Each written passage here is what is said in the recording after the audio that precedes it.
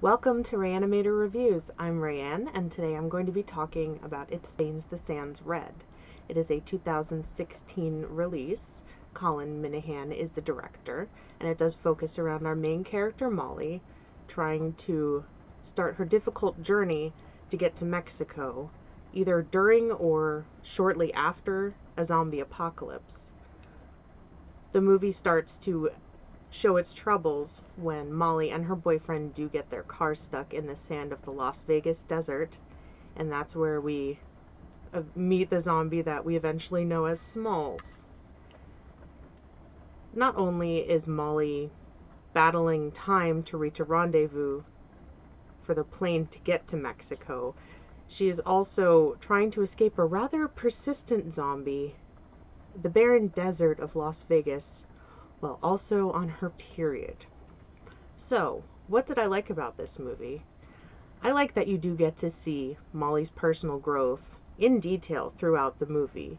You see how she starts out rather irresponsible and then does make big changes mentally as she comes to terms with things and realizes what she should be doing. I also really enjoyed that I'd never seen this particular concept for a zombie to follow someone before, but if you think about it, it does really make sense. No matter how much that might gross some people out, it is a good concept. Another thing I enjoyed was that, for the most part, a lot of the decisions that Molly made were common sense. They were good decisions and it didn't have you sitting there yelling at your screen like why would you do that? Why would you think that's a good idea? Maybe save one decision she made one decision. When you watch the movie you'll understand. My dislikes. To me there almost felt like there were three sub stories going from where she starts out then in the desert and then where she eventually ends up. And sometimes it didn't feel completely cohesive so that bothered me a little bit, but I did enjoy it for what it was.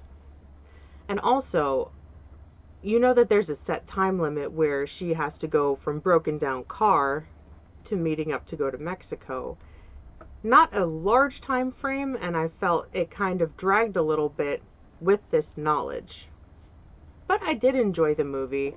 I would give it a 3 out of 5. I do recommend it, and I did find this on Shudder. So, if you enjoyed the video, please give it a like. Please subscribe to the channel. Hit the notification bell for all of my content. And thank you so much. Enjoy It Stains the Sands Red.